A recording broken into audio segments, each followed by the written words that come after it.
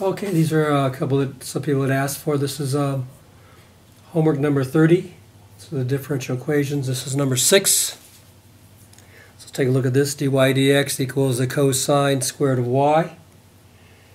And we have to separate the variables. So first of all, we'll just write this as so divide, uh, we'll put the x over here and put the y over there. So we get 1 over cosine squared y dy equals dx. All right. And then from there, we know that 1 over the cosine is the same thing as a secant, so we'll write that as a secant squared y dy equals dx. Okay, then we'll take the uh, integral both sides. Squared y dy equals the integral of just dx or 1 dx. Okay. And then that's going to be the antiderivative of the secant squared is just the tangent, right? So it's going to be the tangent of y.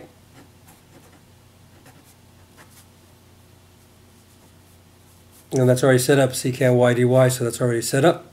Secant squared y dy, pardon me. And that's just going to equal x plus c. And a derivative of 1 is x plus c. And then we had some initial conditions when x equals 0, y equals 0.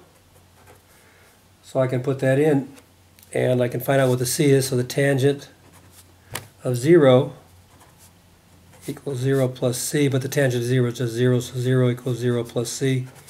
That implies that c equals 0. So,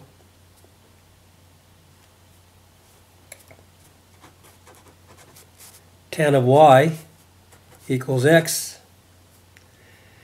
And then if we want to find out, you know, what y is, we just take the inverse tangent. So tan inverse of the tan of y. So I'll take the inverse tangent of both sides.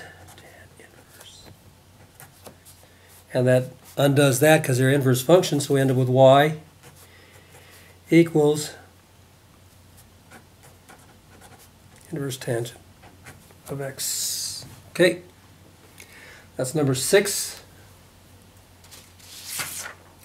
And then number eight it was this one over here, dy dx equals e to the x minus y. So we have to separate that out. So that's the same thing as dx equals, and then we can write this as e to the x divided by e to the y.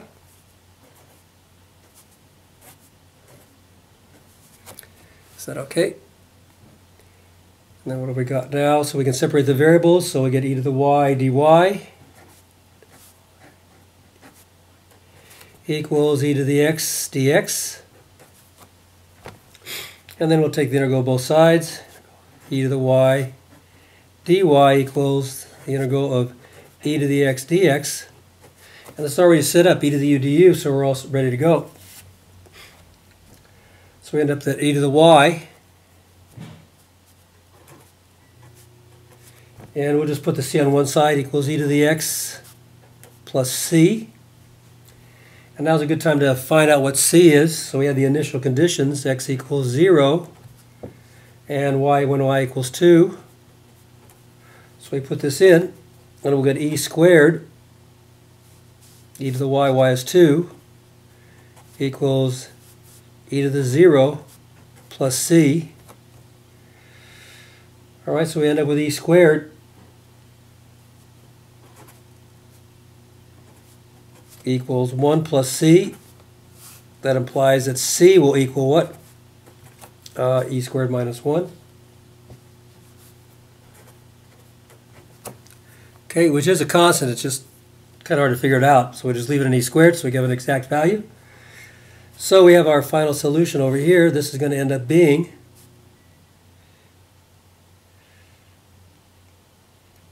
e to the y equals uh, e to the x plus c, and c is e squared minus 1. So we want to find out what y is, so we take the natural log of both sides. So the natural log of e to the y equals the natural log of this whole shebang, e to the x plus e squared minus 1. And then we can move the y in front, so we take the natural log of both sides. So y times the natural log of e equals this natural log of e to the x plus e squared minus 1. And we don't uh, have to worry about absolute values or anything like that. Okay. And uh, what's, e what's the natural log of e? Once we just end up with y equals the natural log of e to the x plus e squared minus 1. Okay, so hope that answers any of your questions. If you have any questions on that, you can just email me. I'll be here on the weekend doing these things, so and I'll try to do some more later. Okay.